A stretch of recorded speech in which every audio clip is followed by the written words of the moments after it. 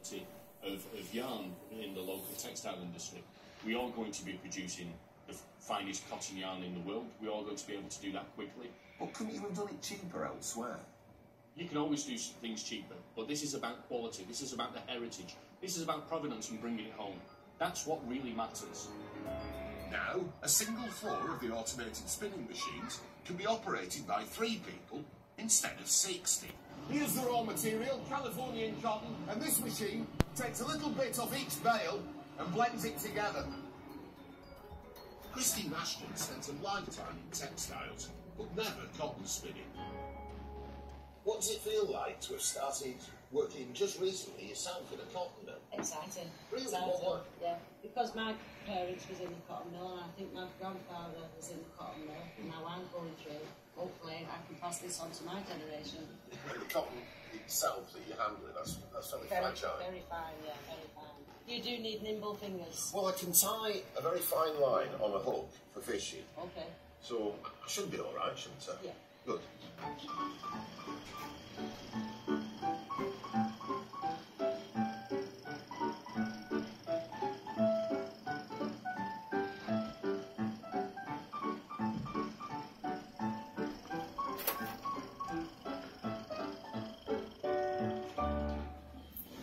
This intermediate stage called roving is put through this ring spinning machine, which has a compacting component. It squeezes the fibres together, and that's what gives it very high quality. And this is what comes out. A thousand metres of this stuff weighs only four grams. In its heyday, the region boasted almost 2,000 mills. It also employed thousands of migrant workers, including Manhal Agrawal. For him, it's a welcome return to cotton. Since the industry died, so there is, it's very difficult to find experienced operator. It's a big opportunity for young generation to learn old skill with new way, with new technique. From an old timer like yourself. Yes, correct, correct. This is the end of the whole caper. This process is called final winding. And this machine's actually got an eye, a little camera. And if it spots any imperfections in the thread, it whips them out and splices the two ends back together. And that's what you end up with. I know it's a business with you. Little time for emotion or sentiment, but is it important to you that you brought this industry back to its traditional home? Oh, it's it's it, it's vital to us. You know, if it wasn't for the staff and if it wasn't for the people around this region, we wouldn't be able to do this. So here it is, this comb is going off to make luxury tailor-made shirts, each of which will cost about £650, which is a hundred times more than I pay for one of mine. For now, this is going to remain a fairly niche industry, but it's great to see the first British cotton that's been spun for decades, and in its traditional home.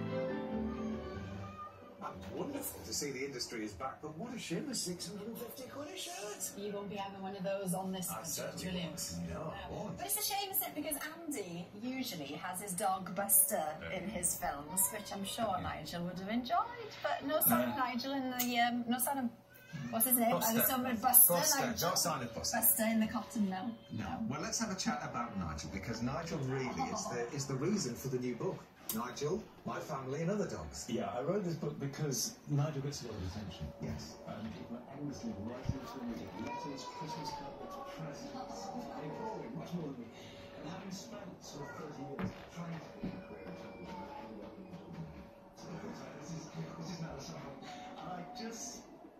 the truth was, I've always loved dogs.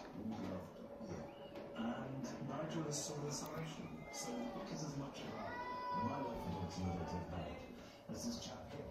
And he's in the same dogs. We have a little bit across the whole family, yes. Uh, we're all seven sort of equations, and he's he's very patient, gets on with it. How did you come up with the name Nigel? This is not really dog thing, is it? No, and that's the whole point. It's my children that talk things, naming them. He's and the short list was Nigel or Keith. That's Nigel. So it ended up we had a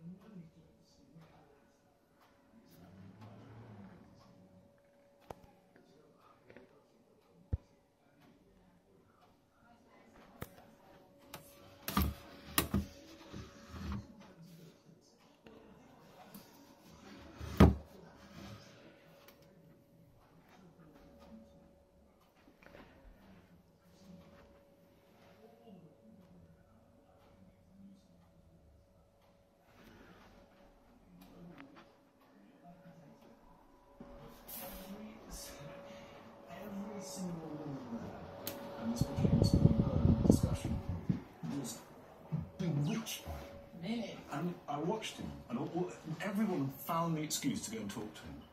And they drew, he drew them in. He didn't go and he wasn't his charisma. charisma. It was just he drew them in. Mm.